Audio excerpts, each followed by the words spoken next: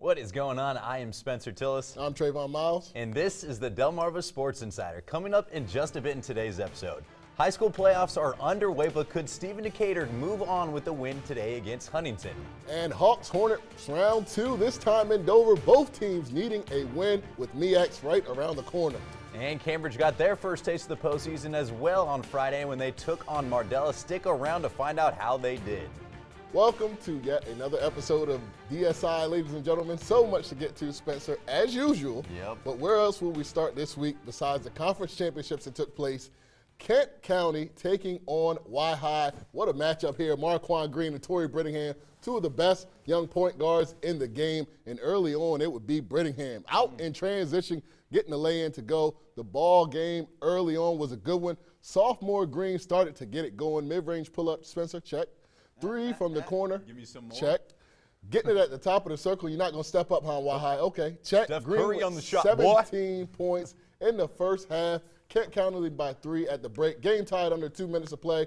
Brittingham gets the steal, tosses it to Jordan Brittingham. Joe misses it. But Tori's like, yo, cousin, I got your back. Indians get a stop, and my man, Zave. Mm. Xavier Branion Sims, Watch. two huge free throws to push the lead to three with just 10 seconds left. Last chance for Kent County now. Shamar Turner with the heave, and it's picked Ta- off Aww. by Sims. Wi-Hi escapes with a 70 to 67 win. And I'll tell you, I said escape for a reason because they definitely almost lost that one. The Indians, with all of them watching me right now, I know they did not play their best game. They, I don't know if it was a previous matchup uh, that High played against Kent, and they thought Kent would come in and lay down, or a lack of focus. But High looked bad at the defensive end. Waller, my man, if you were watching, it, it's time to get out the bricks. a lot of credit due to Kent County, though. They went right at Wi-Hi with a why not attitude, and I uh, got to give that to them. The thing is, I don't think they're the only ones that expected them to kind of just roll Kent County. I think the general consensus was this game was going to be over basically by halftime, and that really surprised me the way they played. But the fact of the matter is, I'm not so convinced it was Wi-Hi having necessarily the worst game. They didn't play well, but Kent County has gotten a lot better. And look out for them. I think they have a chance of making a pretty deep run in this oh, tournament. They sure. got studs across for the board, and guys are actually playing, you know, their best brand of basketball right now that they have all season. They're young too. Don't tell anybody. Oh, Marquand Green. Yep. Two more years of him terrorizing. That's gonna be fun. Well, the Henlopen championship game was last night up in Dover as Polytech boys team looked to remain undefeated against teams in Delaware when they took on Milford. And the Bucks looking good early on, though, trying to pull off the upset. San Martinez hitting the glass here, comes up with a rebound, puts it back up and in for two. Second quarter, and Milford still out in front. Henry Naismith, get to know that name because he is good. The pump fake gets to the cup. Mm. The left-handed finish right there, the good. scoop for two. Bucks were up eight after three, up eight. But here comes the Panthers. Devon Mallory, you've probably heard of him. Yeah. The little teardrop on the baseline is good for two. And then a few plays later, Ricky Hicks, I love this point guard, Man, dumps it off to Mallory. The mm. two-handed slam. Look out below. Poly out in front. Milford not going away, though. Naismith Going to hit this little turnaround on the baseline. That's good for two. His team back within one, and now the Bucks down three with just 10 seconds left to play. Devin Kravitz gets it, goes for the tie. Off the iron, that close. Wow. Polytech, another wow, team wow, back from the dead, survives that one as well. 47 to 42. Wow. They're your 11 champs, and wow, yep. I mean, I tell you what, Polytech, uh, deservingly so. I've considered them the best team in the conference, and clearly they are. That taking this game. But this game was, again, a lot closer than a lot of people kind of expected going in. I still think that they have a good chance of winning states. The problem is their draw is brutal. I mean, they are in the pod of death right there. They're likely going to have to go through Conrad, who's or Concord, excuse me, who's unbelievable, as well as they have a chance of playing Sanford. Three of the best teams in the entire state are on that top side of the bracket. It is not pretty. I mean, it's going to be tough for them to try and make a yeah, deep run. But a little bit about this Henlopen Championship game. We know that Polytech did not play their first, their best game, and they still won the ball game. I don't know if it was the big stage, but the stages only get bigger from here, Poly.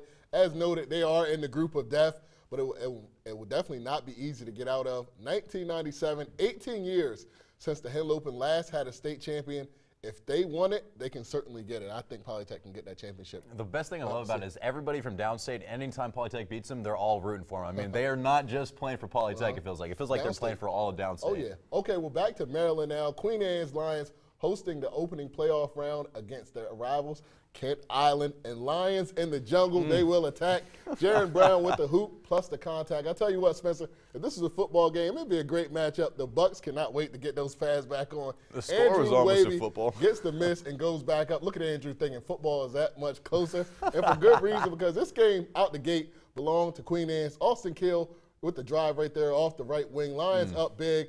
Kenny Ward here takes it up with a pretty take. He missed the layup, but clearly he did it on purpose because he got it right back there. Goes up with it. Queen Anne's all over their rivals, 72 to 23. And Queen Anne's is really, really interesting to me. This is a team that got obliterated when I saw them on opening night at Bennett, but they did manage to finish 13 to 3 in the North. They draw the matchup of Parkside, which whoo, it's a very tough draw in the first and the second round. They need their absolute best out of Kavanaugh, Ward, and Kill, their three captains. Hey, Kavanaugh can make some things yep. happen. He can put the ball in the bucket, but I tell you what, this speaks more about who they are playing than anything else. Kent, Count, or Kent Island, rather, finished that game with just 20 some odd points. I mean, Kavanaugh almost outscored him completely by himself.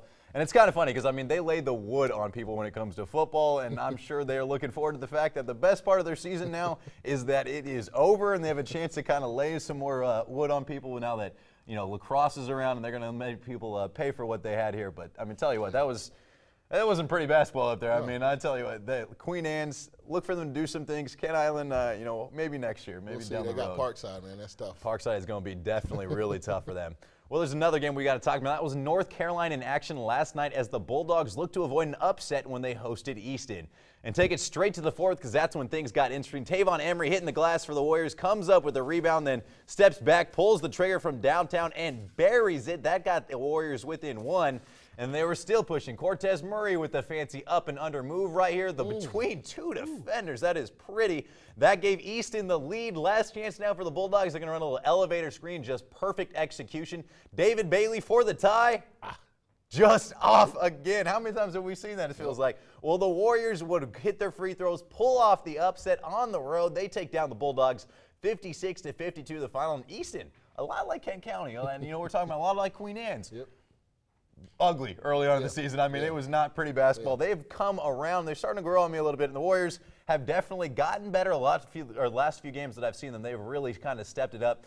It's going to be a very interesting test though, because I mean, playing you know North or North Caroline is nice, but playing in the Waller Dome, that's a different animal. I mean, the Indians are going to be ready to go for this one, and I don't expect it to really go their way too much for Easton, but we'll, we'll see what happens. We'll see what happens. But that uh, game between Easton and North Caroline was just a classic matchup between two very familiar teams. North Caroline with the two wins over Easton during the season, but it's hard to beat a three team, three, a team three times, excuse me, especially a team like Easton with the vets they have, along with head coach Marty Bailey Jr. What playoff experience Easton has really, really showed last night, and I thought that was the difference in the game. Yeah, you're absolutely right about that. I mean, it was close down the stretch. They found a way yeah. to make the plays. This yeah. is the team, after all, that you know men yeah. went deep last year, so they had a chance to make it happen again.